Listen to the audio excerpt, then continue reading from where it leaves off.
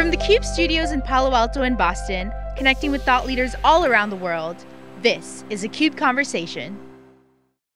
Hi, everybody, this is Dave Vellante, and welcome to this CUBE Conversation. You know, in this COVID-19 pandemic, we've been reaching out to folks that really have good visibility on what's going on out there. Tim Conley is here. He's a principal with the ATS Group and a partner of IBM's. Tim, good to see you again, man. Thanks for coming on. You got it, Dave. How are you today? Not too bad. You hanging in there with all this craziness? How are things? Yeah, we sure are. It's like Groundhog Day every day, right? I know. the family's going crazy. They they want to get out and well, summer's coming, so you know, hopefully the the pandemic is uh, going to calm down a little bit here, give us some breathing room. That. But uh, but so uh, tell us what's going on uh, these days with your company, with with the ATS group. What are you seeing in the marketplace? Give us the update. Sure, Dave. Uh, we've been in business 19 years now as an IBM systems integrator, uh, doing a lot of uh, work around storage. Um, there's a lot of shiny new nickels out there these days that we're trying to make sure that we stay ahead of uh, the game on. You know, our customers are demand excellence from us because that's what we've been giving them the last, you know, 19 years. So they demand that from us, which is actually a great position for us to be in. But, you know, with a lot, a lot of the new shiny new nickels out there today, it takes a lot of energy to focus on those, make sure we're talking to our customers about the right things uh, at the right times in the marketplace. Well, I had Ed Walsh on the other day, and actually a couple times this, this within the last six months, and uh, he he shared with us actually in studio when we didn't have to be six feet apart. Yeah. The the the new announcements, the simplification of the portfolio. Presumably you've you've seen that. What was your reaction, and how do you think the the customers will react? Uh, it's a good question. We're all, like I said, we're always looking to be leading edge. That's actually where we got our name from, Advanced Technology Services Group. Um, so IBM uh, consistently comes out with some really good products and solutions, and uh, we're constantly vetting them out in our innovation center, um, uh, in beta programs and things like that. Uh, a couple key things that are working now with us is um, hybrid multi-cloud you know, IBM comes out, like I said, with some good solutions. We vet them out, and we're uh, real excited about Spectrum Virtualized for public cloud. Um, uh, we've been in using that for probably the last 12, 14 months. So trying to get the word out to our customers on what it means to our partners as well. We can have a simple 10 minute conversation with our customers and our partners, kind of describe it at a high level, and then they can uh, gain interest from at that point. It's a, it could be a little tricky, but we try to take that out of um, uh, trickiness out of it and let our customers know what's really going on, how it works uh, for disaster recovery, for data protection to the cloud. Customers always want to talk about those things, but a lot of them really don't know those specifics. So we literally in 10 to 15 minutes can simplify it to them, let them know how it works and what scenarios it might work for them. And again, doing tests and um, POCs, things like that is really easy for us to do. We're doing one of our uh, big uh, federal customers on a call today at uh, 12 o'clock going over that uh, implementation. They're pretty excited about trying it out because everybody thinks they want to move some things to the cloud. So um, Spectrum Virtualize allows us to do that pretty transparently. In fact, we used it ourselves uh, last year because we took the journey to the cloud for our SaaS offering. It took us over a year to do it. Let me tell you, it's not easy. You know, people make make it sound like going to the cloud is a snap. You know, spin up some OS instances, some EBS storage, and away we go. It's not that easy. I was just I was just talking to a software executive who started his company 37 years ago, and we both agreed. Every, and that's the kind of when I started in this business. We both agreed uh, it just keeps getting more and more complicated. So firms like yours are are, are key. But okay, so you talk about hybrid multi-cloud. Of course, IBM has a cloud, uh, but IBM itself says, hey, we hope people put their data into our cloud, but we know there's other clouds out there. Well, hence multi-cloud. So what do you see as going on in the marketplace, specifically as it relates to, to multi-cloud? And I wonder if we could weave in the, the COVID-19. Are you seeing people more receptive to cloud? Yeah, I'll tell you with COVID-19, we've had some opportunities delay because customers don't quite know where the market's going to go for themselves. If we actually had one customer go out of business, um, so that ultimately delayed a deal forever, right? But overall, things aren't aren't that bad. But we do see customers, you know, looking to make some things easier for themselves. They might have been thinking about the cloud, but COVID's kind of brought it to the forefront, and they want to make things easier right away. Maybe even save some money, right? So we have a calculator we created for our, our customers to really go measure things to see what what actually would it cost to go to cloud. You know, a lot of customers have no clue what it is. We could do that in five minutes for them. It's really interesting. So again, we'll give that that information that hey, going to cloud might be uh, an, an opportunity that they didn't think might be exist until now.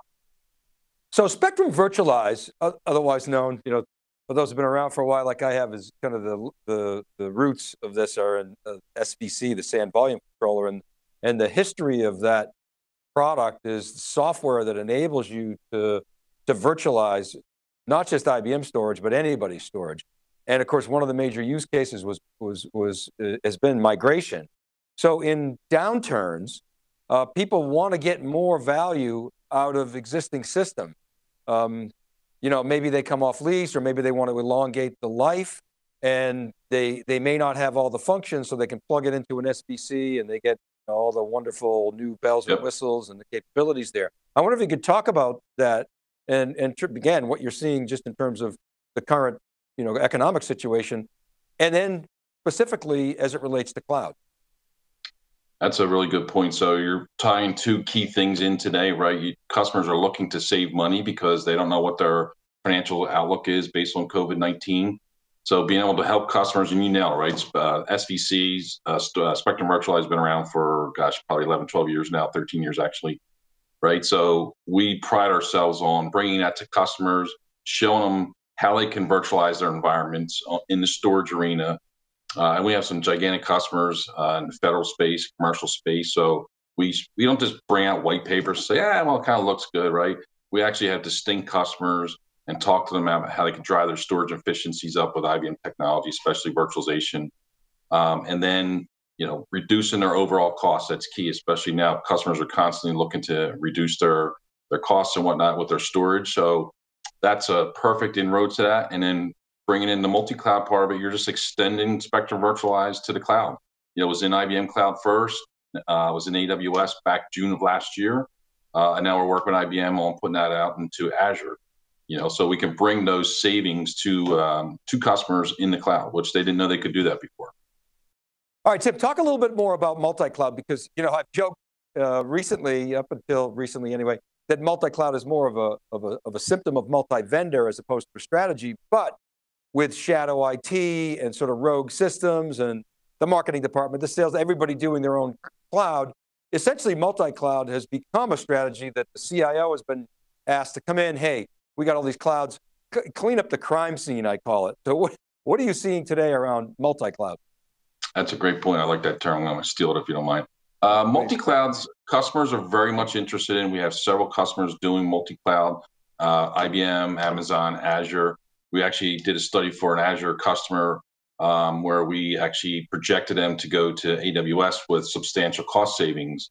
Uh, some of that had to do with uh, right sizing their environment where they weren't right sized in Azure today. Um, but I got to tell you, you know, cloud's not simple. It's not easy. Again, I said mentioned earlier, you know, we took that journey ourselves, spent a lot of time and energy with uh, some really smart guys on my team uh, to take that journey. So multi-cloud is a really great idea and should be looked at. But I'm telling you, it's not quite that easy to just shift around. But there are definitely things to move to uh, different cloud vendors.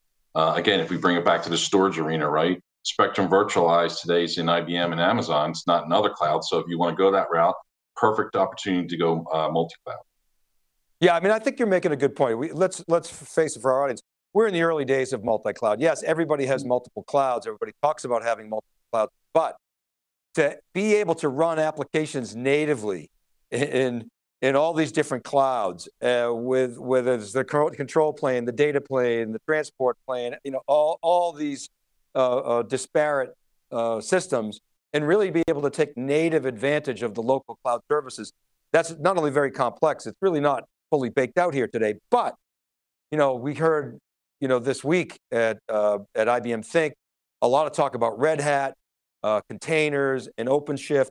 So we're starting on that journey and that's really the promise of, of multi-cloud, to be able to ultimately uh, run applications anywhere. But as you point out, that's a very complex situation today for customers. Yeah, that's a good point. So I would I, I'd totally follow up with you on that. That's multi-cloud customers are looking at it, and there are some distinct advantages to the different cloud vendors. Uh, one could even say on-prem is a, a, form of cloud, right? That's just your private cloud. So keeping things on-prem for certain scenarios makes sense. Be able, but be able to tie that back to uh, the big cloud vendors, IBM, Amazon, Azure, right? Tying them together is a direction people are looking to go and are kind of some of them are there and have done it, um, but I'd say some uh, some or more of them are in the infancy stage of that. But what are you seeing uh, in terms of just kind of switching topics on you? In terms of things like governance, uh, compliance, a lot of talk about cyber resiliency, especially given the pandemic. What, what are you seeing there with customers? Wow, that's a that's a big topic. Um, it's an, an, interesting data classification. You think it'd be that easy, uh, especially for some of our Fed customers. It's not that easy, right? Trying to classify the data, they just don't know.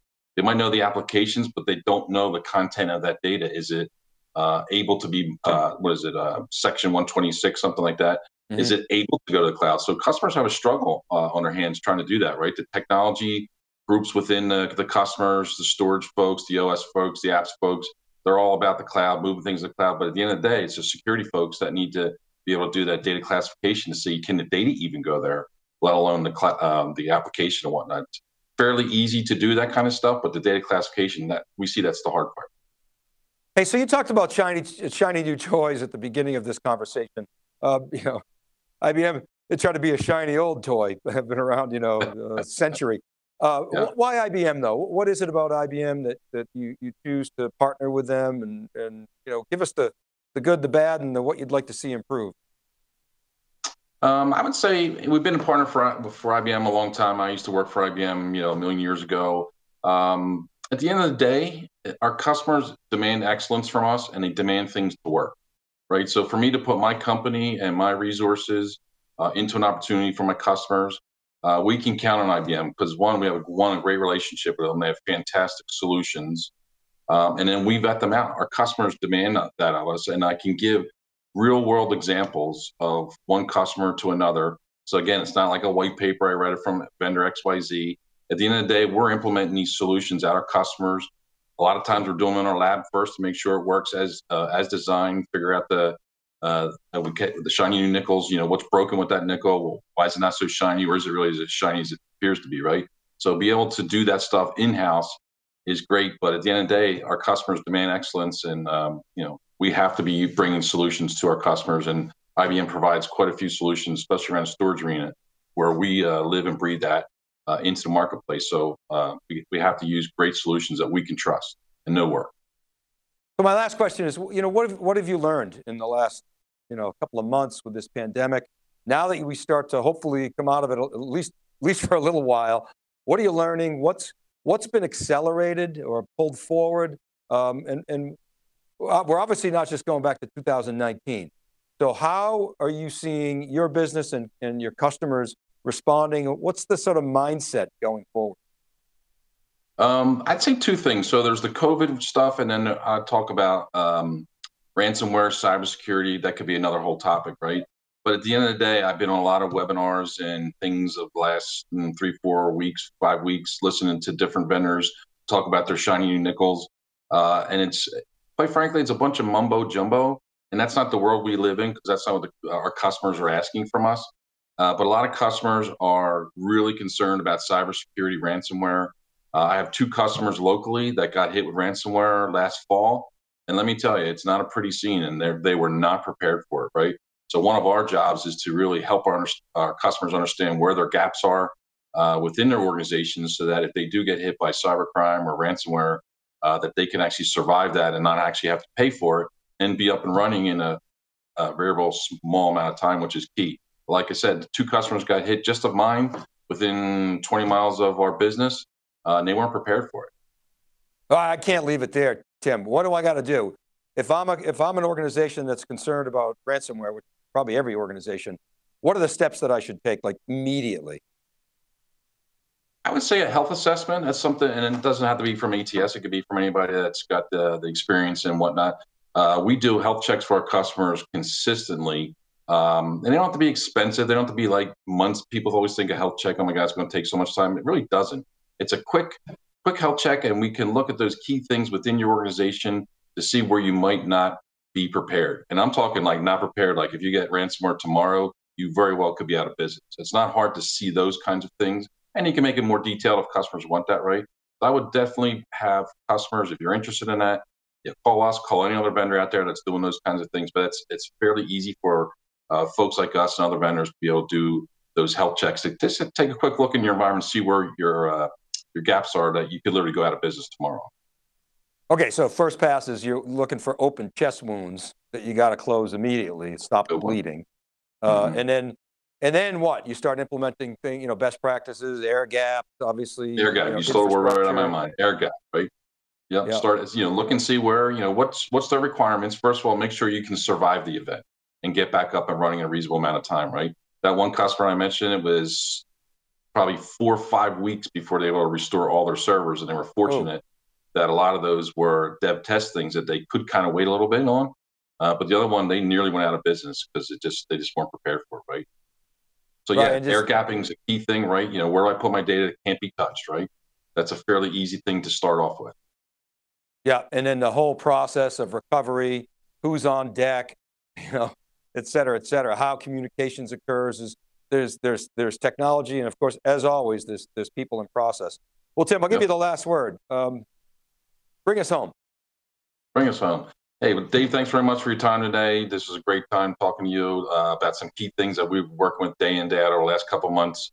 Uh, again, you know, bringing our solutions to our customers, uh, that they demand that excellence from us, uh, bringing IBM solutions that we we natively know and love and trust because we've done them many, many times with other customers. So pretty excited about what's going on in the industry. Um, looking at all those shiny new nickels and see which one are actually shiny at the end of the day. All right, Tim. Well, listen, thanks for coming back in the cubes. Great to see you. I hope we get to see each other face to face. Sounds good, Dave. Safe. Thanks for your time. Thank you. All right, you're welcome. And thank you for watching, everybody. This is Dave Vellante for theCUBE. Go to siliconangle.com. You'll check out all the news. Go to cube.net where all these videos live, and wikibon.com, where I publish weekly. We'll see you next time on theCUBE.